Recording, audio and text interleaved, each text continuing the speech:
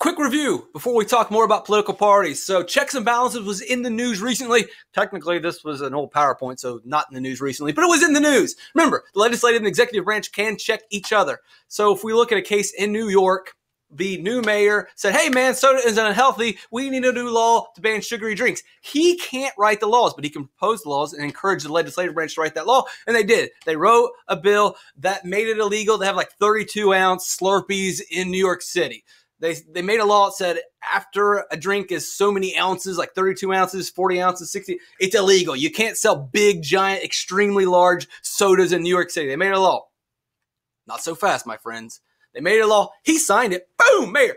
And so it went into impact into effect. But guess what? Checks and balances. The judicial branch came in and said, whoa, whoa, whoa, whoa, whoa, hold on. We have the power of judicial review, and we went to review that law, and they used their power of judicial review. They used checks and balances, and the judges came in and said, nah, that law is unconstitutional. It gives too much power to the executive branch. You're overstepping what you can and cannot do. And thus they removed the law and the ban on sugar, soda, sugary drinks got banned. So it's almost like it never existed. And people in New York rejoiced and drank 30 ounce big gulps and 45 ounce sodas and were chugging down their Mountain Dews. All right, start the timer. I probably should have started the timer already. We're going to talk about political parties. History of political parties. So Thomas Jefferson, Alexander Hamilton, we go way back to the very beginning of our country because, as I explained in the previous video, we've had political parties. We've had these groups getting people elected, and the people get elected and they serve the group. Well, so why did they even create these group political parties? It doesn't sound like a good system. Thomas Jefferson, I want to become president to assure that state governments have power. Remember, he's an anti-federalist. Alexander Hamilton, I completely disagree with that. The national government should have the most power. Oh, yeah? Well, you got to get elected first. Bring it on. And so they realized Jefferson wants it his way, Hamilton wants it his way. Well, if you do it all by yourself, it's going to be tough to win that election. Jefferson realizes that he really, really wants an anti federalist government. He wants his way to be the way that it is, and he's smart and he decides, I need people to work together with me. And so he creates a political party, and Hamilton does the same thing. He creates a political party, and from there, the political parties try to get people elected so that they can influence the law, so that they can set public policy. George Washington I totally did not want this to happen. George Washington was completely against political parties. He thought this would be a problem, and it is. But guess what? No one listened to him, and we are now today stuck with these political parties, and there's no turning back, and political parties exist in every nation. It's a group that helps individuals get elected, and once the individual gets elected, they then serve the group. Today, you have the Democratic Party, which has mostly liberal beliefs and believes that the government should be very big and help people. This often results in high taxes, and the government should protect our rights. Whereas the Republican Party, now these are overgeneralizations. Don't hold me to these statements. Not every Republican believes in these things, and not every Democrat believes in these things. These are broad descriptions of what these parties do. If you're interested in finding more about the Democratic Party, then Google it. If you want to know more specifically about the Republican Party believes in today and what their public policy is today, then Google it. But your introduction to the Republican Party is they have mostly conservative or traditional, you may even say old school beliefs. And they believe that, you know what, people should just help themselves. We don't need a big government involved in everything. And if we have a smaller government, then you need less money, which means less taxes. They also believe the government should enforce traditional beliefs. I'm not going to go into what those traditional beliefs are. I don't want to have that argument. Google it. Functions of the political parties. This is a review right here on the left. We talked about these yesterday. What are the functions? What is it a political party does? Why do they exist? What is their job every single day? So the first function of a political party, now it's the Republicans and the Democrats, the first function of the political parties is to recruit and nominate candidates. Again, the Democratic Party can't serve. They cannot be in office. You need specific human beings to do that. And so the group must find human beings to go and do the job. They must recruit people, say, hey, come join our party. And you may have been recruited once. If you go to any parade or any festival in town, there's usually a Republican Party tent somewhere and a Democratic Party somewhere, and they're spreading out and giving flyers and saying, hey, join our political party, join our political party. They may get you to join just as a regular member. They may nominate you to run for office. This is an example. Uh, right now, the process is going on. This is from a couple years ago. They nominated this guy. Mitt Romney was going to be their candidate for president. The next thing they do is educate you about Mitt Romney or educate you about their issues. The next function of a political party is to help their people win. They pick the guy, they got to help that guy win. That's their biggest job. And usually they do that with lots and lots of money. Celebrities throw money at them, corporations throw money at them, even individuals. You or your parents may have donated a little bit of money to the Democratic Party or may have donated a little bit of money to the Republican Party. It may not seem like a lot, but when you have millions and millions of people in the party, and if everybody donates I don't know, 10 bucks, that's tens of hundreds of millions of dollars, and that helps pay for the TV ads and all the billboards and signs that you see. The last thing they do is once they've got their guy elected, they then monitor their office holder, make sure they are doing what they're supposed to be doing and representing the party and following in line with the party's orders. Today we will talk about the similarities of political parties. A lot of times we think about Republicans and Democrats. We say Republicans and Democrats, they're so different and they're so, they're always fighting with each other. And that is true. And we will talk about some of the differences later in this video, the main differences. But there's also some similarities. There are some things that political parties both do that they have in common. The first thing is obvious. Both political parties, the reason they created the political party was to win.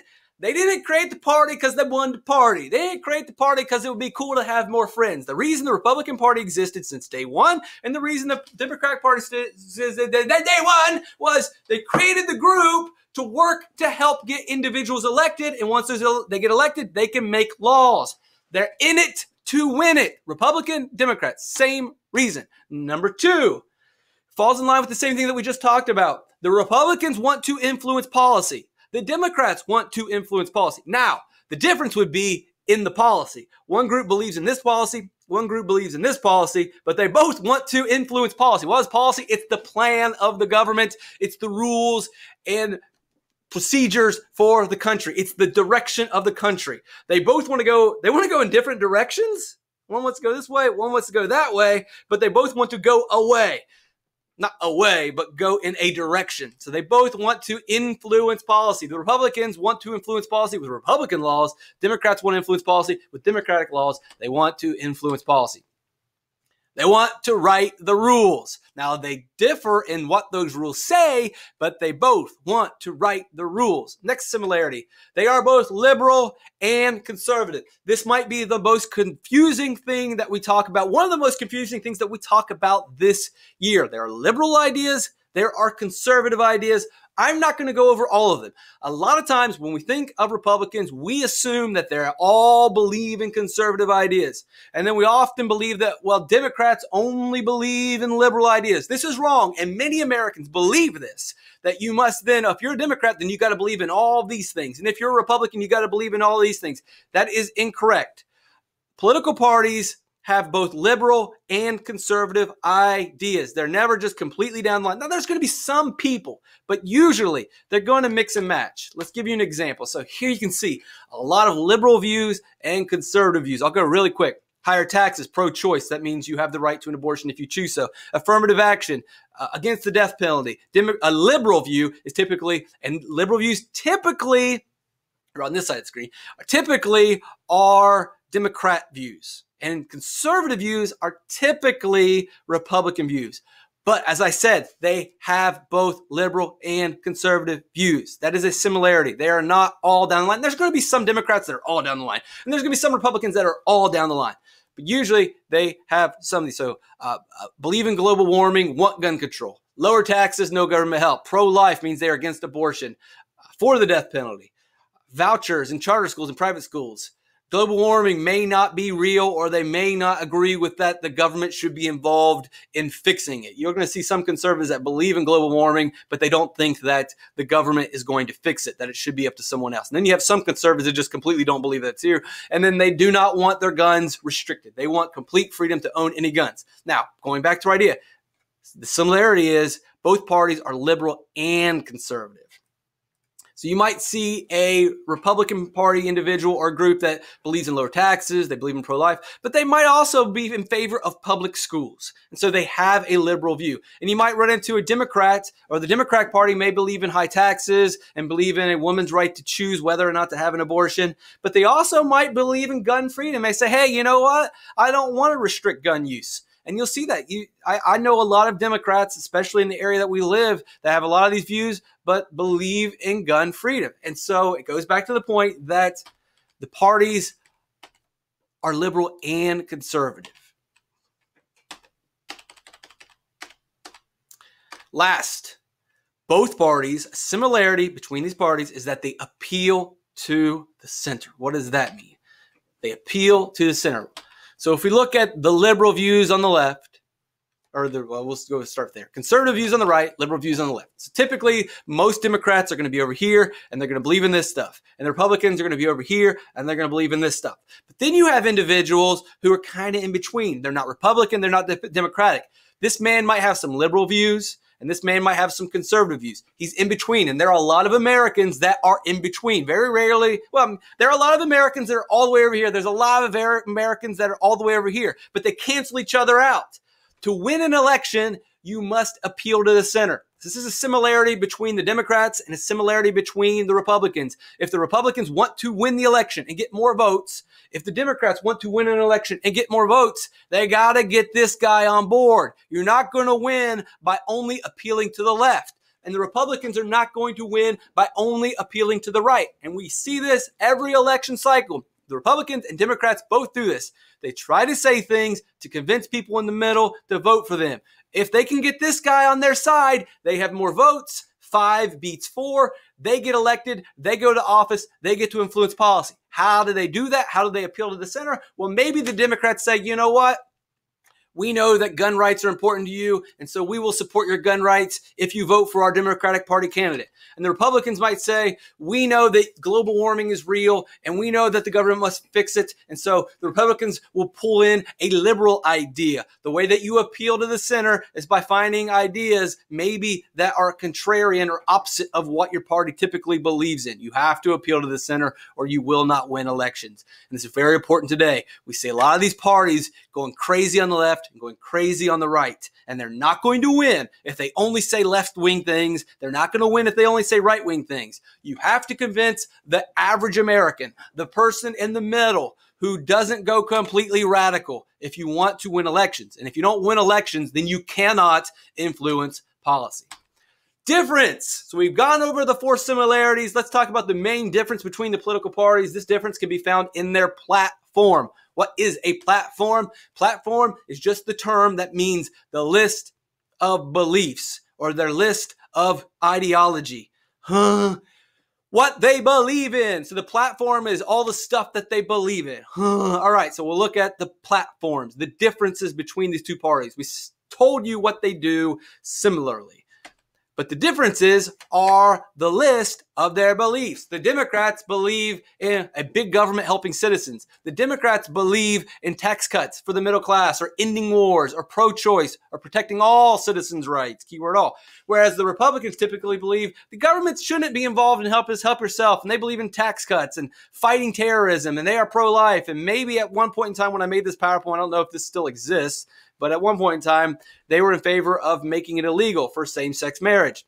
That's the platform. A platform is your list of beliefs. And you can see that the beliefs over here are different from the beliefs over here. And you as a voter wonder, well, which political party should I join? Who should I give money to? Who should I support? The best way to start is to Google each political party and read their platform or read the platform of the individual candidate. If Barack Obama is running, typically his platform will fall in line with the Democratic platform. And when Donald Trump ran, his platform or the list of ideas that he believes in on his website pretty much were common with the Republican Party. Maybe you Google up Andrew Yang and you look at his platform, and his platform is insanely large. He has an idea about everything. His platform's about a hundred things. And for the most part, if you look at his platform and his ideas, they fall in line pretty much with what the Democratic Party believes in, and they do not fall in line with what the Republican Party believes in. This is the difference between political parties. Another idea we should talk about here educating voters. Remember, this is one of the functions of political parties. Costs a lot of money. If you want people to know about your guy, you got to pay money to get that word out. TV ads, internet ads. If you want to help the candidate win, you got to pay to move him all around the state. You got to get him in a car. He's traveling. He's staying in hotel rooms. He has assistants. All of this costs money. Where does the money come from? Sometimes the money comes from political parties. Sometimes it also comes from interest groups and political action committees called PACs. We'll talk more about what an interest group is and what a political action committee is in another video, but just in your mind right now, see it as another outside group. So this outside group is giving a bunch of money to help the guy win. Hmm. Oh, that's cool. That's just really nice of them. They're just donating money. They're not just donating money. There's a reason that that group, that interest group is giving the guy money to win. They're going to ask for a favor in return. If you give someone money to help them do something, are you going to ask for a favor in return? I scratch your back, you scratch my back, tit for tat. That's the way it works. And so the group gives money, gets the guy elected, and then the group then says, Oh, we got you elected. We need a favor in return. And what we end up having is a government that's based around money. The government and the people that were elected serve the people that gave them money. They work for the money. They are not a government of the people. The people might have voted for them, but when push comes to shove, when they're in office, it's not the people they're voting for. It's not the people they're representing. They're representing the people that gave them money, the interest group, the PAC or the political action committee. This is the problem. We need to get this money out, some argue. Some say, whatever. What are you going to do? You're never going to remove this money. You're never going to remove this influence. Let's just move on and find a better way. Some people say if we get rid of this money, then we return to having a government that serves the people. Last thing, third parties. We'll talk about third parties in another video, but I've got 15 seconds. So, real quick, what do third parties do? They introduce new ideas. What do third parties do? We talked about Democrats and Republicans. Well, there's third parties. And the only thing that they really do, they don't win elections or lose elections. They just bring up new ideas that eventually the Democrats talk about and eventually the Republicans talk about. Third parties, new ideas. Ah, it's so loud.